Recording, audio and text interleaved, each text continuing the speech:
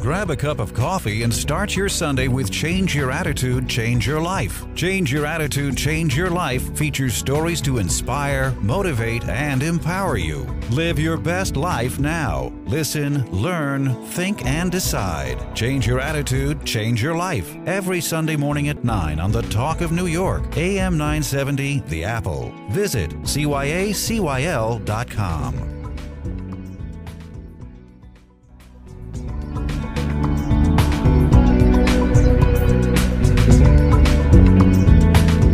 morning. This is Change Your Attitude, Change Your Life. I'm Joan Herrmann. Thanks for tuning in. Today's guest is a modern day David who loves a good brawl with today's Goliaths.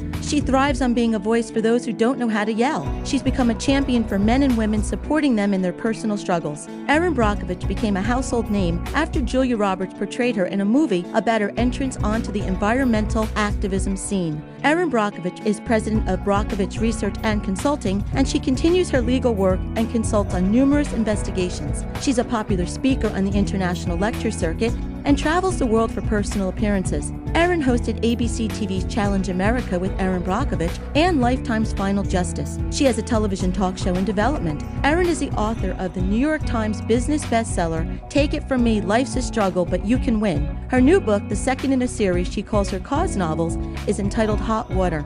According to Erin, they're written in the hope that her readers will pick up the baton when it comes to social causes that make the world safer and better for us all. Good morning, Erin. Thanks for joining us today. Hey, good morning. Wow, thanks for the cool intro there. When you hear that, sometimes do you wonder who the heck is that person? I thought you were talking about Julia Roberts. No, ah, that's my joke. I know sometimes some of the guests they sit there and they're like, "Okay, I'm waiting for that really awesome person to appear." but but that's about? you. But that is you and what you've been able to accomplish in your life is wonderful and that's why I'm so glad that you're here today to share that with us because we're so here at Change Your Attitude, Change Your Life. We're about inspiring and motivating people to get out there and make those changes that'll put them on their personal journey of, of passion and, and that can always help another person. So I'm really, really happy that you're here. So thank you. Oh, it's a pleasure. Thanks. So, really, thank you for having me. Now, Erin, you mentioned Julia Roberts a moment ago, and and as I said in the intro, your name became a household name after the award-winning movie under the name of Erin Brockovich, and that movie portrayed the story about your entrance into social activism. Were you always conscious about social issues, or was it something that happened by accident, quite literally? A little bit of both. Um, you know, as, as a lot of it's my upbringing. I was born and raised in Kansas, and so you know, I have a terrific sense of just the freedom of being outdoors and, you know, fresh water and and and, and our environment. I mean, I love it. As a kid, I loved it, and my father, who actually worked for industry, is the one that taught me the value of clean water. He used to always tell me in my lifetime water would become a commodity. I think he's going to be absolutely right. And um, that the greatest gift we have is good health, the love of our family, and, and clean water. And, you know, it wasn't until I had my own children and I got involved in that Hinkley case that everything that my parents offered me about what was important is important. And once in a while we move away from our priorities or we have to reprioritize what's important to us. And I think that we're in a phase again where we are truly recognizing that it is about good health and clean water, and often our honesty and transparency with each other, and um, mutual respect, and getting back to ourselves and our neighbors. And so I think it's been missing, and because of that, we are now facing issues that we're going to have to turn around. Erin, you mentioned the Hinkley case a, a, few moments ago, and for some of our listeners who may not be familiar with what you're talking about, can you just give us a, a brief background about that case and how you got involved with it? Well, I got involved because uh, I had met the law firm of Masry and Vititoe out in California, and how I was introduced to them was I had a car wreck um, that resulted in a neck surgery and you know a PI accident, and they were my my attorney. I didn't, um, you know, for all practical purposes, that that litigation that I was involved in certainly didn't turn out the way I had been told that it would. I was a single mother with three children, and I needed a job. Mm-hmm. And I basically really begged Ed Masry to hire me, and begrudgingly he did. And one day he brought a file in to me. He was actually looking for another secretary, but I happened to be in that same, you know, office space with her to open a file, and he asked if I would do so. And I really didn't know what I was doing, but I just said that I knew what I was doing because it was the boss after all, and I had to do a good job. So I took the time to really look into this file that is now what has become the film Erin Brockovich was a company who had known for some 20 plus years that they had been contaminating the groundwater with a poisonous chemical. And they were getting to the point where they were going to have to figure out how to either say something or hide it so they wouldn't get sued. Long story short, they got caught. And the end result is, you know, because of this secret and a company's deception, lives and the environment were destroyed. And this is a scenario playing itself out way too often. And it's that secret that we've got to understand is the very root cause of our problems and um, lost lives and lost environment. And we, we've got to figure out a way to reprioritize who we are and why we do what we do and practice with some honesty and be more forthwith to our communities and, and the people that live within them because we're, we're creating some problems. Erin, I think so many of us have this attitude that I'm only one person. What can I do? And what would you say to that? What can one person do? You, you know, one person can do a whole lot. I think that we're all starting to recognize that Superman's not coming. And uh, agencies aren't necessarily going to be here to save the day, nor is some lawsuit. That we're going to have to bring back our country by just getting back to ourselves and our community at a local level to to get back home you got to come home and and what I mean by that is people have got to recognize as an individual you can make a difference first and foremost you can make a difference just for you and when you make a difference just for you it's contagious because then you have a better outlook or you feel more empowered or you're more confident and then guess what you can make a difference for your child you can make a difference for your spouse. You can make a difference in your family. You can make a difference in your community. So everything really will begin with you. You know, I try to teach on my own lecture circuit a program I called RAM, which is about realization and assessment and motivation of oneself. And if you can just start with there, you find yourself more aware, um, further educated, and more confident to talk about a cause or an issue that maybe is important to you that might be going on. And then you can get more to join your voice. And then it just becomes, you know, cyclical and it snowballs and it feeds itself. But it will begin with you. Well, I think sometimes we start out with the best of intentions and then often we hit those walls and, and we become defeated. And I'm, I'm sure that when you were going after this, this giant, this large corporation, there were many times when you wanted to give up. So, where did you find that courage to persevere? Where did you get that strength to continue on this path? You know, I relied on old things that my parents offered to me. You know, um, for me, growing up was difficult. I'm a dyslexic. I have a learning disability. I would oftentimes feel defeated, and I felt more defeated more often than not because somebody else told me I was defeated. Not because oh. I saw that I was defeated, but somebody else was telling me I was defeated. Oh, those voices that, that just yeah. get inside our heads. And that happens to all of us. And you know, my mom taught me to have stick to itiveness. And a funny little word, but it's an actual word in the Webster's dictionary, and its definition is propensity to follow through in a determined manner, dogged persistence of obligation and stubbornness. And as a kid, I became the little engine that could. And I have to tell you, to this day, when I see that obstacle, and I do, I hear my mom's voice. And hmm. you've got to get your stick to itiveness on. And so much is about your perception of who you are. And so don't be distracted because somebody else has told you you can or you can't do something. I'm often told that, well, you're not a lawyer, you're not a doctor, you're not a PhD. But you know what? You don't have to be any of those things to be a human being and to have compassion and some common sense and believe in yourself and do something outside of yourself to make someone else's life better. Do you feel that your work now is this your true calling in life? Oh yeah, absolutely. You know, I I I love being able to embark on projects like writing the book Hot Water because it's a different way to tell a similar story, but yet can be a daunting story that could help inspire someone else to want to make that social change. And I'll break away into certain little things, but this this is my passion. You know, I'm I'm recently in uh, discussions with Google on a map because I get so many emails. I've tried to start to plot and trend these locations of where people are reporting groundwater pollution and disease, you know, issues that appear to be like excess disease in their community.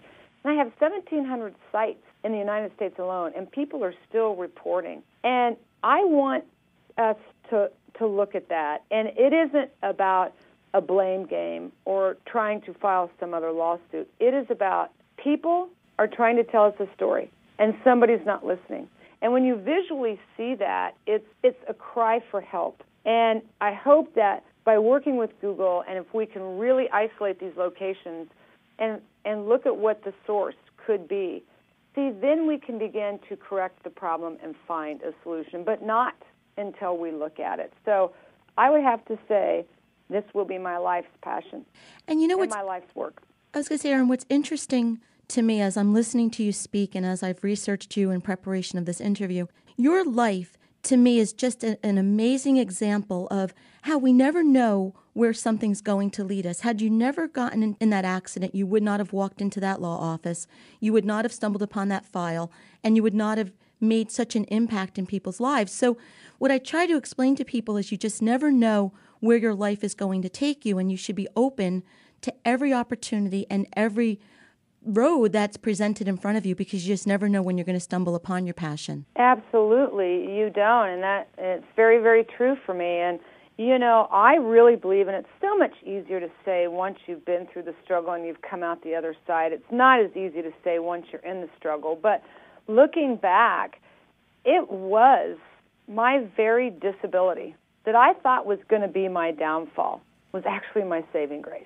And it was every obstacle that I have faced and being able to muster up my stick to itiveness and and relying on some real core values and believing in, you know, my own self. You know, we talk about logic all the time and for me, logic was just a dressed up word for common sense. And and those are skills that I used and looking back now, it was that very obstacle and that very challenge that I was over able to overcome got me where I am today. I wouldn't have changed, nor would I change a thing. Erin, we are going to let our listeners think about that while we take a break. Stay with us, we'll be right back.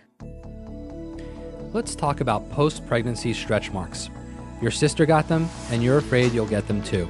Or worse, you already have them thanks to that beautiful baby you gave birth to. What should you do? This is Dr. Brian Glatt, and I'm a board certified plastic surgeon at the Premier Plastic Surgery Center of New Jersey in Morristown.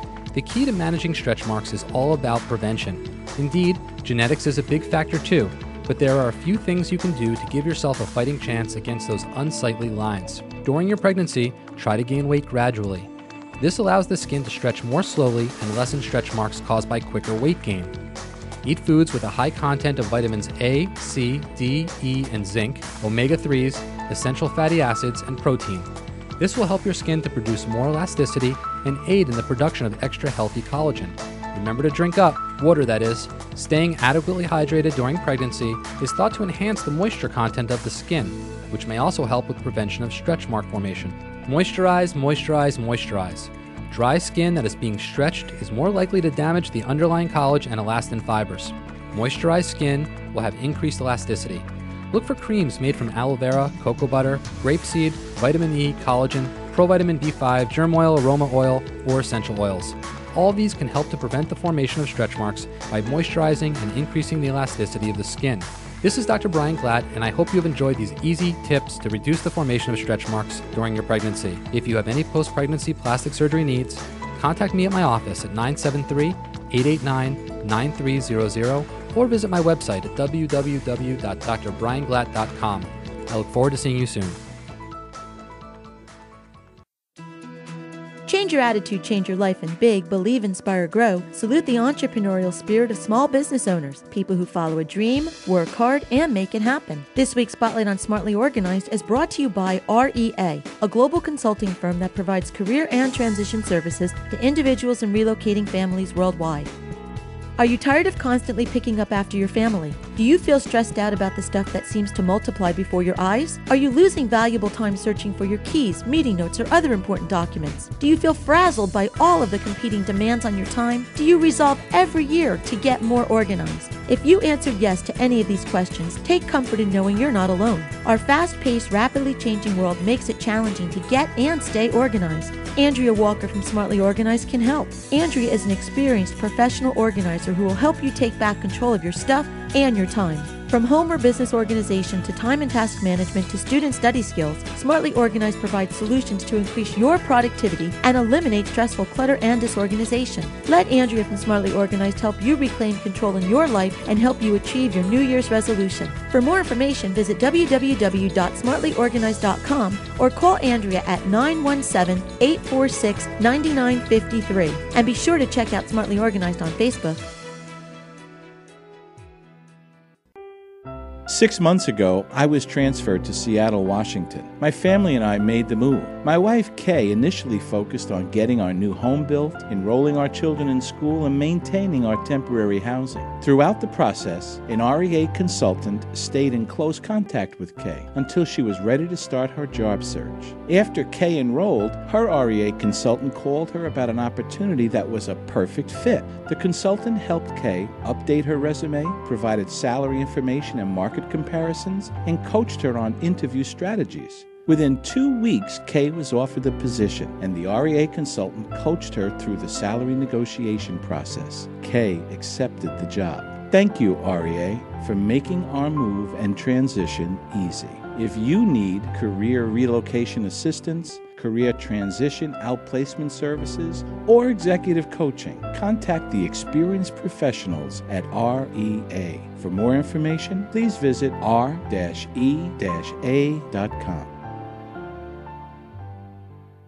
This is professional career coach Elise Holtzman. Have you ever gotten halfway through the workday and realized that despite being busy, you haven't gotten very much done? Instead of constantly being distracted by the phone, email, and interruptions from clients and coworkers, take control of your time with these three tips for maximizing productivity. First, turn off the beep that notifies you that a new email has come in. Instead of responding to each individual email, you can read them at defined intervals. Second, create a priority hour each day during which you don't answer the phone or permit walk ins. You can do a solid block of work and can return messages once your time is up. And third, stop interrupting yourself. Minimize personal phone calls, web surfing, and purely social conversation until the bulk of your work is done. For more information about how to create career success and satisfaction, visit www.eliseholtzman.com or call me at 908 233 2273. Welcome back to Change Your Attitude, Change Your Life. Our guest today is social activist and author Erin Brockovich.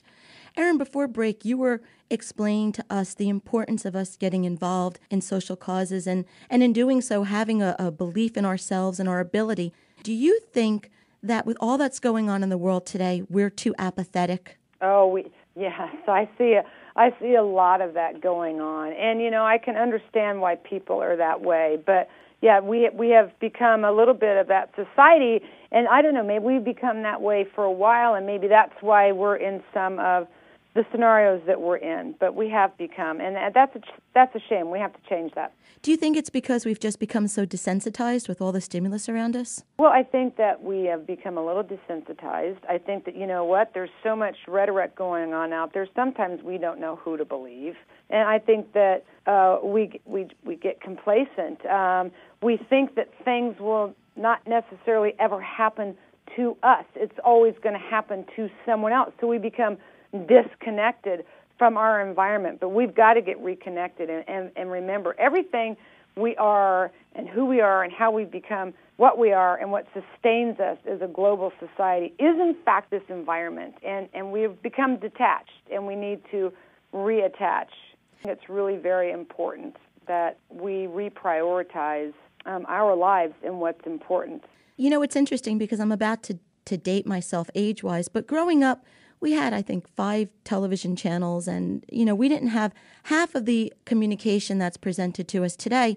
And yet, with all of the cable channels and all the news and all the reports, I don't think we're any better off today than we were then. You just touched upon that. We don't know who to believe or what to believe. So, how can we determine what the truth is, what we need to fight for, and then take action in doing that? Well, the truth lies within you. And as long as we become detached from our very environment and just sit on our couch and, and look at our games, uh, I'm not sure we will progress. You know, I'm out there every day in the field, and I, I would tell you my observation is we're not progressing. We're backsliding. Right. And I think that we need to become hands on. It isn't until you get out there and you see it and you experience it that you become electrified by it. And I think that it's it's very important. And again, when I say reconnect to the environment, that is getting up off our bums, getting outside of our buildings, and getting down on the ground and putting your feet in those blades of grass or um, getting out and, and looking at the wildlife or the absence of wildlife and, and seeing what's happening in your world around you.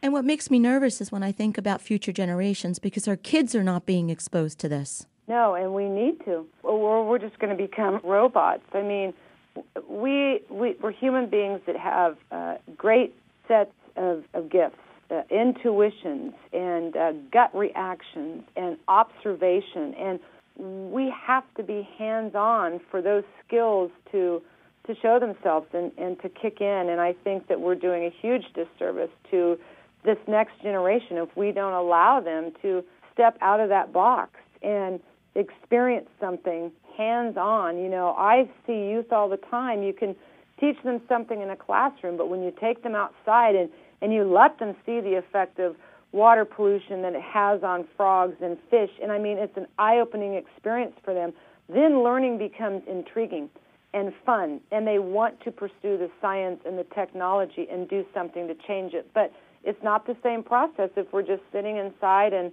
and working on our iPads and our iPhone 4s and, and getting lost. Technology is such a great thing, but it's a little bit of a double edged sword. And if we become desensitized and we just lose that human side of us, um, I don't always feel encouraged by the future, but I'm always hopeful that people will get back to some basics and um, get out there and get hands on and don't just sit and watch the world. Be a part of the world, and that means you're going to have to come out in it. An important point that I'd like to make I don't want our listeners to think that it always has to be in such a grand way, the way that you have, the impact that you've made, but just doing something simple, getting involved in a, in a small change. It, it doesn't have to be something that's so daunting that they're afraid to take a chance and get ah, involved. Oh, I completely agree with you. You know, not everything that we get involved in, and even in my own life, is something that results in a in a movie or a series of books. But it's just about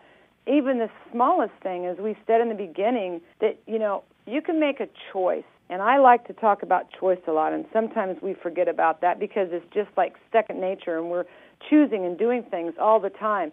But if you really stop for a moment and look at some of your choices and decision, and just do something as simple as choosing to get involved, through through choice you have a say in the future. And that that doesn't mean it has to be on a grand scale. That could mean you actually have a say in your own future um, whether it be the sake of a child, the safety of your child, or yourself, or your education, you can just choose to get involved and change your own life. And when you change your life and then you're empowered to change another, again, like I said, it's a snowball effect. It doesn't have to be something on a grand scale. And you're right, oftentimes people think, I'm one person, well, what difference can I make? Well, don't sell yourself short. You're one person and you can make a difference just in your own life. I've read that you said your favorite movie is Pay It Forward, and I, and I love that movie. I, I, I love, the concept. movie. And I think that that's the philosophy that we need to to just live our lives by, paying it forward, and and that's really the key. Are, are there any tips or or just strategies that you can offer to help people to go out there and pay it forward? Maybe some causes they can get involved in. Well, you know, whatever their cause uh, is, they can clearly get involved in. And, you know, I talk about what I call the four L's, which is logic, leverage, loyalty, and love. And whether it be uh, for a community trying to take on a cause or an individual person, uh, you're, we're constantly searching for the logic and everything. But you know what? Logic is your common sense, and your common sense is is that that heart and gut reaction and response that you intuitively know is right or wrong. And if you just will let your common sense go to work for you, you'll end up logically doing the right thing. And and don't be afraid to get some leverage. You know, sometimes it helps to have another voice and there's nothing wrong with being united. So go out there and and don't be afraid to ask someone else. Uh, I have this cause. Would you join me and extend your hand? Be loyal to your cause. Be loyal to yourself and your neighbors. And ultimately, you know what's really important? And I know everyone's kind of like going, oh my gosh, we're going off on some strange tangent. But the bottom thing that keeps every one of us going, it's really love. You have to ask yourself every single day, why do we do the things that we do? I mean, sometimes we beat our head against a wall. Why is it that we do the things we do? And ask yourself, if there was no money to chase, if there was no power to be had, you know, what would your motivation be then? Well, I got to tell you what, when you back it up, it's going to be ultimately it's love. It is love for your family, love for your health, love for yourself, love for your country, love for your water, love for your freedom, all of it. It is it just an innate thing that human beings have that we are empowered by. And so if you can go out there and do things with some common sense, loyalty to yourself, united with your neighbors, and do it out of love and for the right reason. I'm telling you, in fact, I promise you, and I am guaranteeing you, you're going to have a really good outcome. Well said, Erin. The book is Hot Water by Erin Brockovich. If you'd like more information about Erin and her work, you can visit brockovich.com. As always, you can visit our website, cyacyl.com. That stands for Change Your Attitude, Change Your Life. While on our website, listen to past shows as podcasts, read the digital magazine, sign up for our mailing list, and take part in our book club. Erin, again, it was such a privilege for me to have you here today. I am so glad that you spent time with us, and I wish you much continued success with your life changing work. Thank you. Thank you very much. It was a pleasure to be on the show. Thank you for all your time. This is Change Your Attitude, Change Your Life. I'm Joan Herrmann. Thanks for tuning in.